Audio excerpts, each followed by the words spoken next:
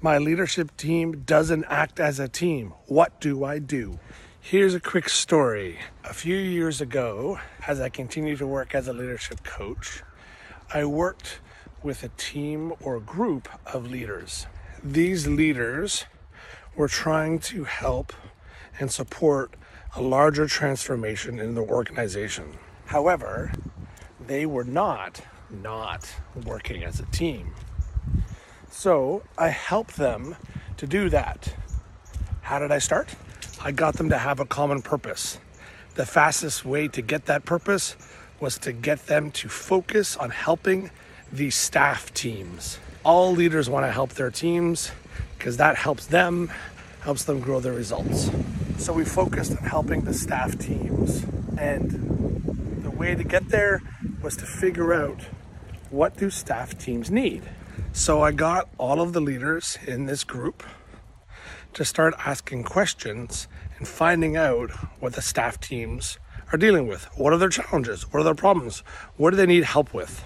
We used a visual wall, large wall, and we created a board on there that had this leadership team on it.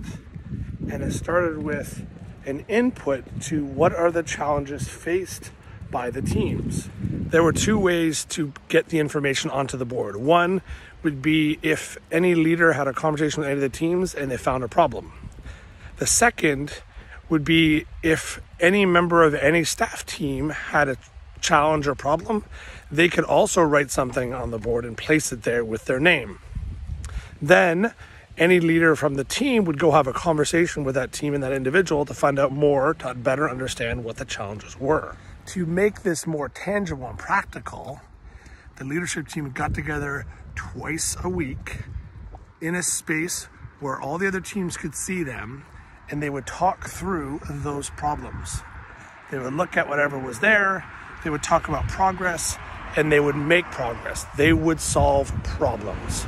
As they solved those problems, they would share updates to the teams. So the teams knew what was happening and the teams felt supported. And there was an example of a leadership team acting as a team. You can do this. Try it yourself. Do you have a leadership problem? If you do, my name is Paul Heidema. I'm a leadership coach. Send me a message.